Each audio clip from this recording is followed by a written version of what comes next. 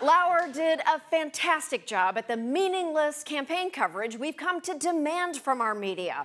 At some point, networks decided they could ask questions and the answers would just be someone else's problem, specifically yours. I wouldn't blame it on the moder moderator here. I would actually ask the viewers to really look at what Donald Trump is saying. Mr. Trump said he would have ordered his generals to seize oil from our enemies. Isn't that against the Geneva Convention, or is that a good idea?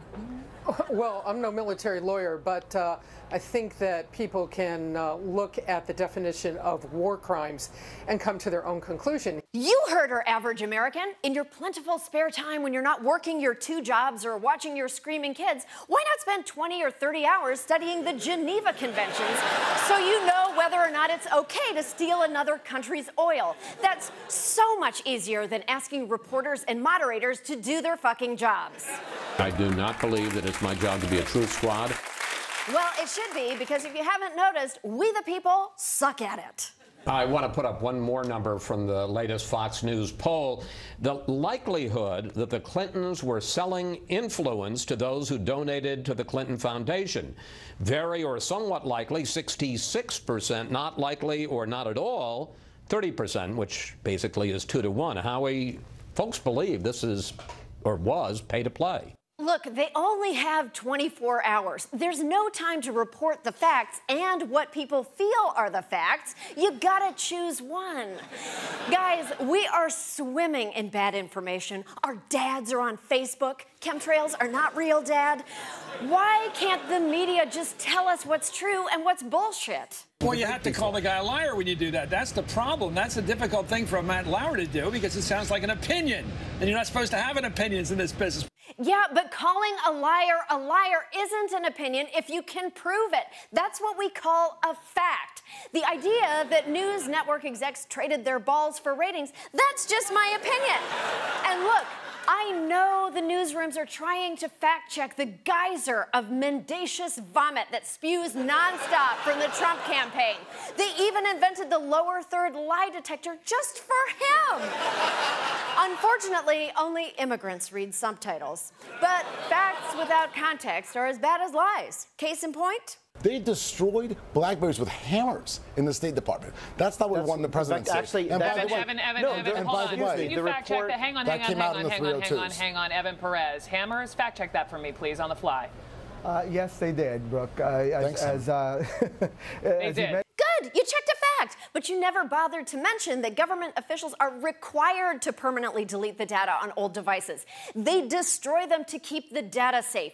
We can't read nerd mags for you, CNN. We're busy with our Geneva Conventions homework. so, absent a more reasonable explanation, I guess we'll just believe this.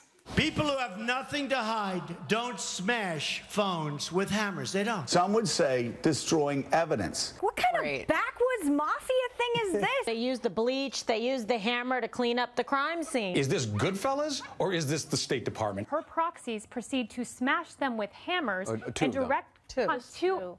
Two is too many. Just, just for the record, I'm, I'm, I'm, I'm not, I'm not judging. No, don't judge, Anderson. Judges are biased, except for the judge that sends that mafia cunt to jail. The problem is, news organizations simply are not equipped to cover a candidate whose entire being is a lie.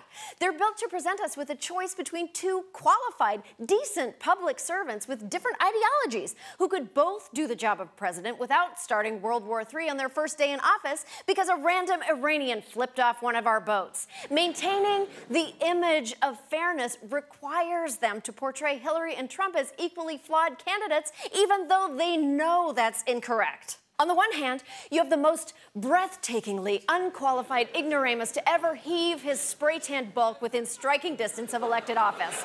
A race baiting bully who, according to two meticulously researched biographies, is a tax cheating, investor swindling, worker shafting, dictator loving, pathologically lying, attorneys general bribing, philandering, mobbed up, narcissistic serial con artist who hasn't got the attention span to read a fortune cookie, much less a fucking intelligence briefing.